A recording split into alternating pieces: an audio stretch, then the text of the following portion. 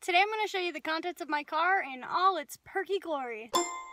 In the driver door, I have water because you should always stay hydrated when you're driving. And always, in general. Within reach of me, I have chapstick, a bunch of candy, which uh, pretends that it's for people, but it's for me. And about 25 Lyft cards in case I have Uber passengers who want to know more about Lyft. People like to sit in the front, but it's really not the best experience. The best experience from my car is sitting in the back. However, I do have some water bottles in the door of my car.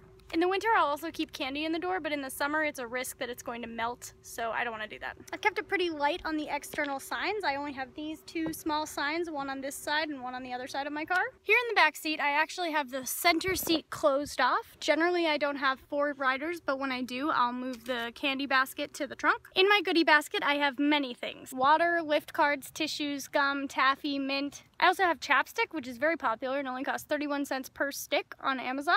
On the back of each of my back seats, I have a little sign reminding people to rate. And finally, I have every kind of charger known to man.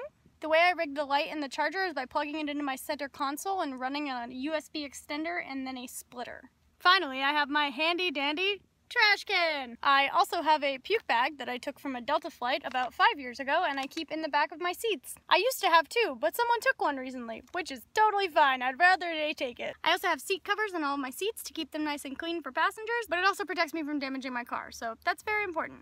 I have this tip box here, which I do think increases the amount of cash tips that I receive. However, this particular one was kind of expensive, so I'm not sure I would recommend it, especially since the top of it fell off and I had to replace it myself, which shouldn't happen when I'm spending so much on a product. People often forget that you need to keep a clear trunk. You literally never know when you might be picking someone up for an airport ride and they're gonna need the full trunk. One time I moved a guy with everything he owned. So in order to accommodate for that, I only keep the bare essentials in my trunk. I have an emergency kit that I got at O'Reilly, basic supplies, some cleaning supplies, and extras for my perks.